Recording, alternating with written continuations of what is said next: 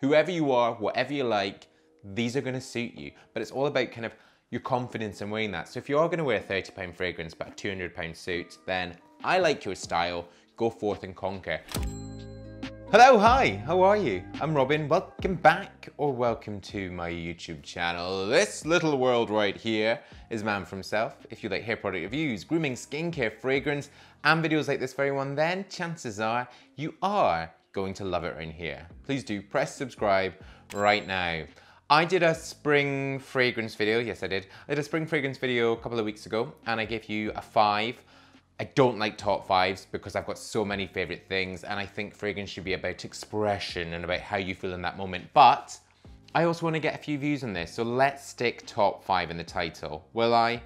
I don't know, but anyway, you're with me. And these are five for spring, five gorgeous fragrances that actually will last all year round. I thought I'd use this as a bit of a prop. The five fragrances are in there.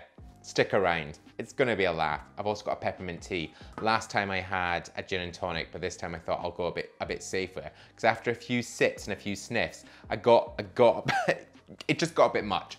Okay, I'm gonna start with um, this one in here. Oh, hello.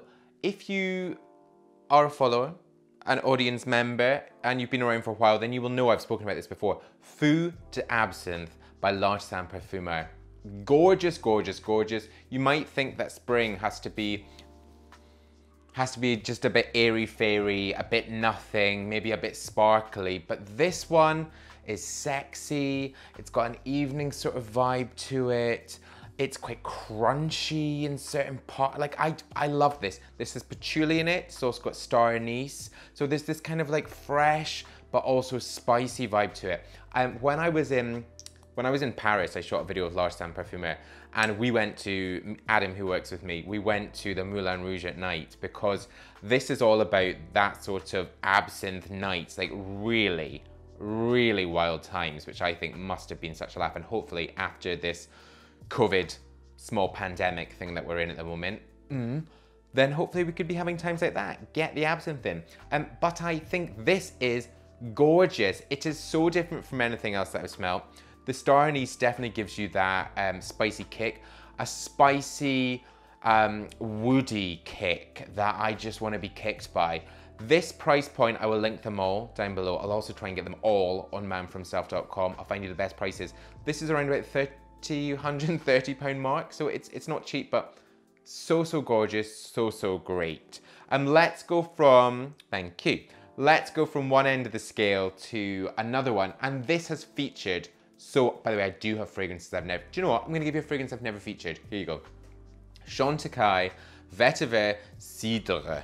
Cidre. Chantecaille is uh, a really well-known, if you know, you know, a really well-known beauty brand. Well, it might not be that well-known, but Vetyver Cèdre is, as it suggests, vetiver and I was about to say cider, vetiver and cedarwood oil. Um, it is great. I've, I've dropped my blotting strips, just gonna spray into the air. I know this. They had two, hello, two new ones that were launched. And the reason I think this is so spring-like spring-like is the warming woods from cedarwood. Cedarwood I always think gives this warmth to it, uh, very light and bright. And then the vetiver gives it this grassy sort of edge. So there's, there's definite freshness there's also really great bergamot and grapefruit, really juicy notes in the top, and also just a touch of juniper. There's another juniper one in here. I like juniper because it makes me think of a gin and tonic. Um, love a gin and tonic, really thirst quenching, perfect for spring, perfect for summer,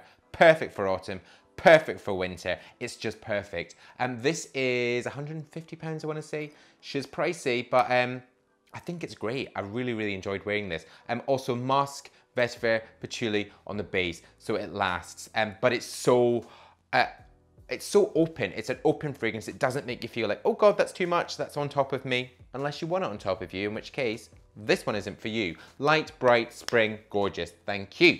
Um, okay, right, if you like juniper, but you're thinking 158 pounds is just a touch too much, then I'm gonna take a sip of my peppermint tea and I'm gonna get this one out for you. Mmm. Abercrombie & Fitch First in Abercrombie & Fitch First Instinct. This bad boy has been sprayed a lot by me, someone who tends to gravitate towards chuck some money at fragrance. but I think this is so, so great. 20 something pounds, 28 pounds. Let's just call it maybe an, an even 30 pounds on that, but 30 pounds for a bottle like this. Um, Abercrombie and Fitch, uh, fashion, is that fashion? It's clothing, brand. That is very much, was very much based on this sort of alpha male, girls and hardly anything, gorgeous, gorgeous people, but I don't think much going on in their head. But the fragrance that was created is just perfect. Gin and tonic in there, aromatic pepper and suede musk. But for me, it's all about that, that gin and tonic. I also get a sort of like violet sort of quality to this. Um, I have worn this like a lot and I think it smells so much more expensive than that 30 pounds. Again, like I think always with price points and brands, it is marketing. That is the world we live in. Essentially, I am marketing right now, um, but I'm marketing with a conscience. Let's say that. I'm also discerning. I'm gonna pick out stuff that's decent. Um, also, all of these can be worn by anyone. Whoever you are, whatever you like, these are gonna suit you. But it's all about kind of your confidence in wearing that. So if you are gonna wear a 30 pound fragrance but a 200 pound suit, then I like your style, go forth and conquer. Um, but this is just so, so great. And I do think of it as a sort of spring summer just because it has, uh, it's very rounded, it's very inviting, it's very much like, hey, how's it going? Nice to meet you, rather than, hey, how's it going? nice to meet you. Um, it's less sexy, it's more welcoming, and it's gorge. Gorge, who says gorge? I do now. Robin James, 2021, Man For Himself. Thank you very much. Um, let's go. I was talking sexy there, and I want to go super sexy. Carine Roitfeld, um, who was the editor-in-chief of uh, Vogue uh, France. Oofed. Uh, yes, she was. She has launched seven fragrances, which I have here. Seven fragrances inspired by seven lovers in seven cities. I just go wet and wild for that vibe. I've got the travel set here. Um, this was very kindly sent to me, obviously with the hope that I would feature this. And it sat in a box while I was moving and I didn't get to it. And then while I've been looking at fragrances for different videos that I've got coming up, I've got a very sexy seductive video hopefully coming up next week. And I've got one on summer fragrances. I think we just fast forward into that. But when I was going through these, I was having a spritz, I was having a wear, and I kept on coming back to them. Seven fragrances inspired by seven men that Carine Roitfeld uh, met in seven different cities. I just, I'm like, hats off. That is what fragrance should be. It should be moments, it should be memory, it should be sex, it should be excitement. It should just be a full love story. Like, that is what we're here for. This one, Vladimir, um, very much has a sexy story behind it. And I'm going to read it to you. I took this directly off the website. This is not some sort of erotic fiction that I've written. Um, this says, Your hand guiding me in a firm but gentle hold. We slipped into the wings of the Masinsky Mariinsky Theatre. While the dancers warmed up to the sound of the Tchaikovsky, you leant towards me and tenderly kissed my cheek, enveloping me in a sweet, lingering odor of amber gorgeous. I just love that she's got these stories. She's worked with um, a perfumer and said, this is my story, sex it up, get it in. Um, that's what she said. But what is great about, ooh, ah, what I love about this is there's some similarities between this, Vladimir, and First Instinct. First Instinct is all these juniper, um, very fresh, very inviting notes. And I think that this one is almost like a very adult, a lot more expensive, $260 for 90 mils, expensive uh, version of that. This has got grapefruit, it's got geranium, bergamot, sage, cedar, and then she talks of amber there. There's amber and there's incense. So Amber, I preach, I preach, yes I do, I preach that it's got this sort of golden tonality to it. It's warming, it smells expensive, it sits on the skin, it lasts. And then with incense, it's all about that smokiness, smoky notes. And I think it's beautiful. I think it's beautiful and I'm excited to get into the seven men that she's got in that pouch. I might even do a dedicated dedicated video where I just sort of read the stories, spritz the things, and we have a bit of a laugh because I think it's so, so great. I think it's absolutely beautiful and I want to entertain, so I'm gonna do that. So well done, Carine. Gorgeous, get your lid back on. Gorgeous launch and I'm excited to get into your men. Okay, pop you in there. Okay, the last one is another sort of new release. Um, and this is by L'Occitane. Um, L'Occitane have got, they have various fragrances. There were actually three that got sent to me, must have been maybe at the start of the year.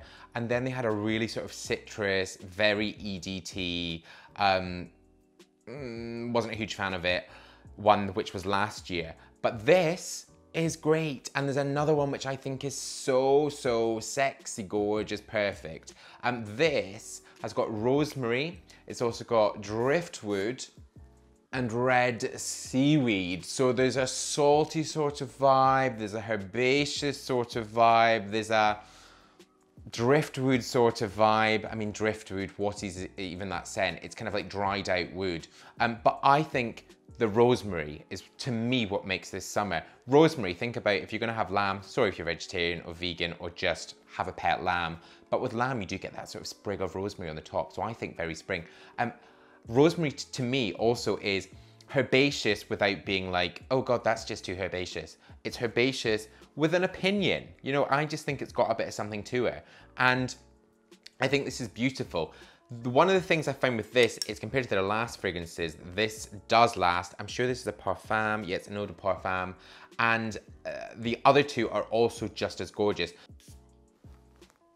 This to me is just like really out of all of these, probably one of the most wearable. I feel like it's the kind of fragrance you could wear every day. People might not necessarily think, oh God, he smells great, or oh God, she smells great, um, or oh God, they smell great. I, I just think uh, this one is just easy on the skin, it's easy day out, it's easy easy, it's easy breezy, um, whereas the other ones might be a little more easy in the kind of like night out sense. But what I'm gonna do is I'm gonna link all of them.